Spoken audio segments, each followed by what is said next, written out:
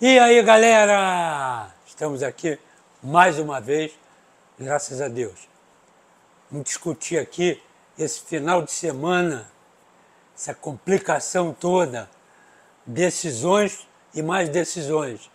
Fla-Flu no sábado e Vasco e Nova Iguaçu no domingo, que também é complicado o jogo.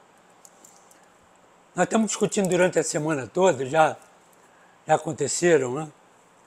Os primeiros jogos já aconteceram. E a coisa andou meio complicada. Nada definido. E aí começam as especulações. Vamos começar aqui, por exemplo, com Vasco e Nova Iguaçu. O time do Nova Iguaçu, todo mundo está dizendo, ah, já fez o que tinha que fazer, é, entrou no campeonato para nada. É mentira. É mentira. Vocês estão lembrados do, do, do Volta Redonda? Volta Redonda, ah, entrou. Volta Redonda chegou lá. Aí no ano seguinte, pegaram um aqui, pegaram outro ali e tal, desmontaram o Volta Redonda. A mesma coisa vai acontecer com o Nova Iguaçu.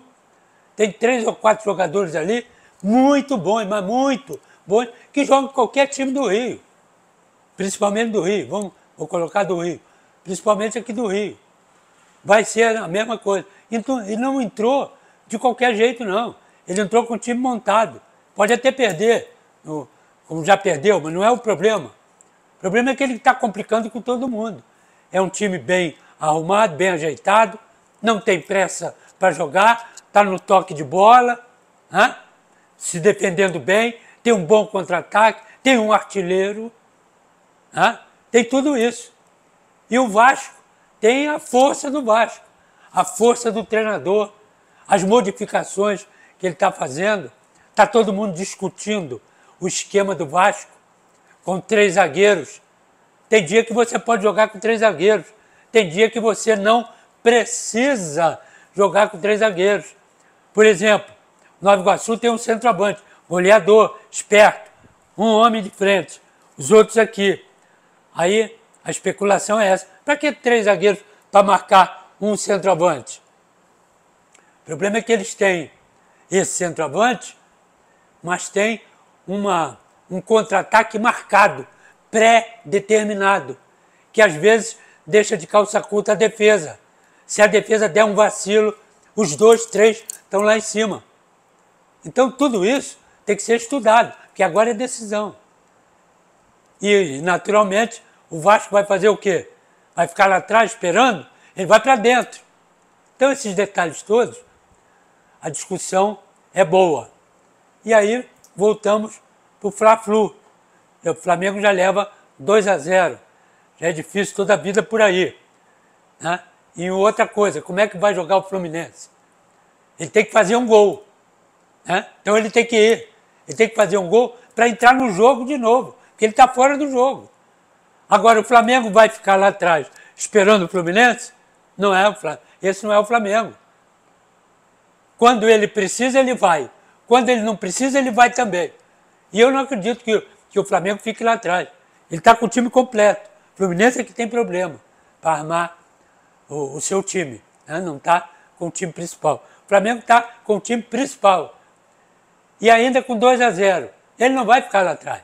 Ele vai para dentro. E ele vai jogar como jogou né, todos esses jogos, não só como contra o Fluminense, como todos os jogos. Principalmente o time que sai jogando, que é o time do Fluminense. Ele vai encurralar ou tentar encurralar, pressionar o time do a, a saída de bola do time do Fluminense. Por isso é que está todo mundo discutindo, e nós estamos discutindo aqui, aqui também, como é que, como é como faz para segurar esse meio do campo do time do Flamengo, que é um dos melhores, se não o melhor desse país. E o Gerson ainda está de fora. Aí o que, que acontece? Meio do campo do, do Fluminense, André, Martinelli, Ganso não pode, Lima, então vai jogar com três, ou com quatro com áreas. E os dois de frente. Quais são os dois de frente? O Cano não pode.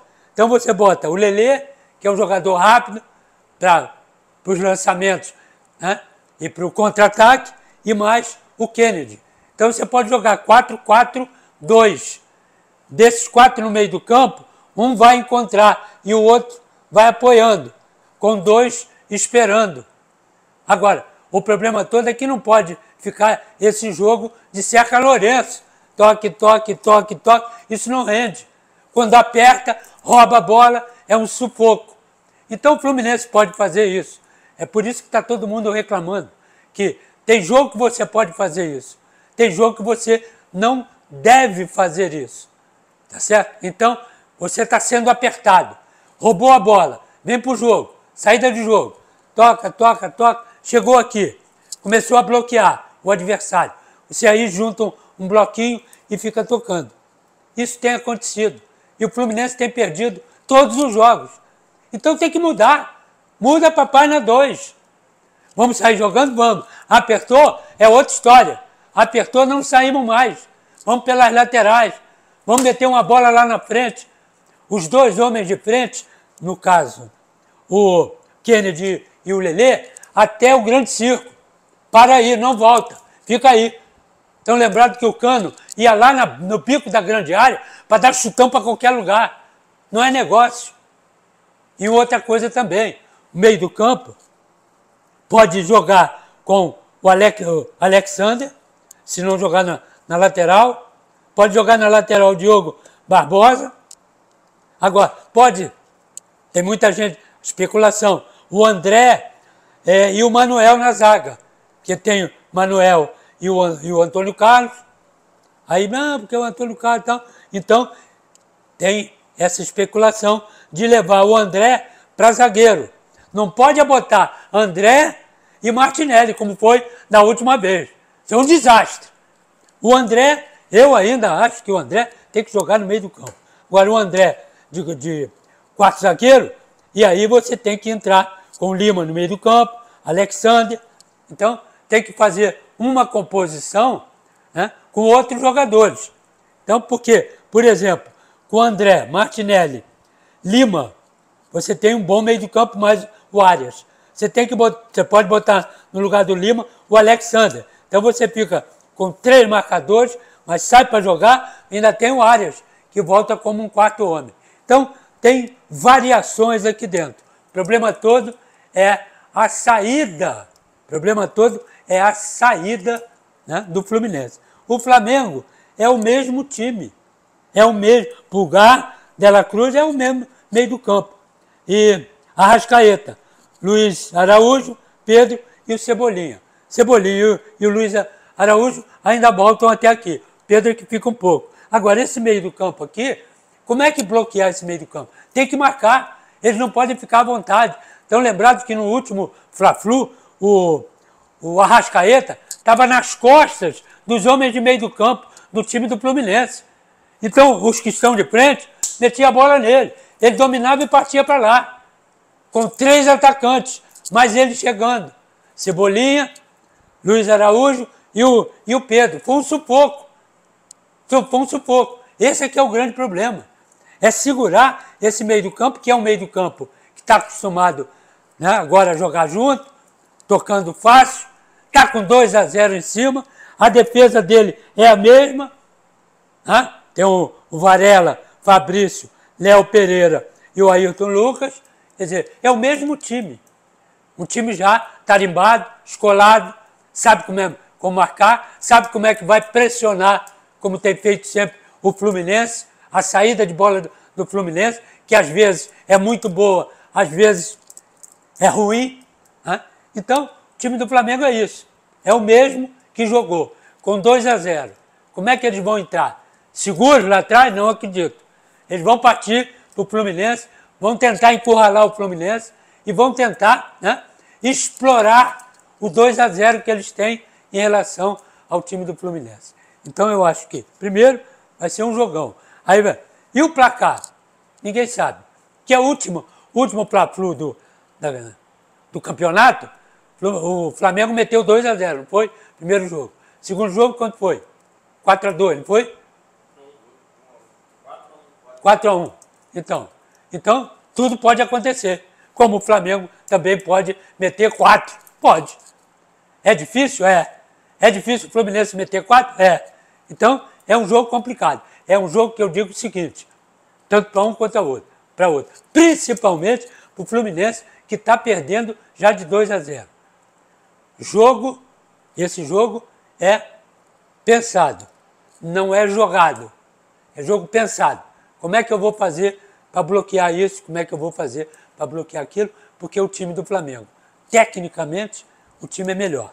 Tecnicamente. Mas, às vezes, só isso não basta. Taticamente, o time do Flamengo está mais bem arrumado. Por quê?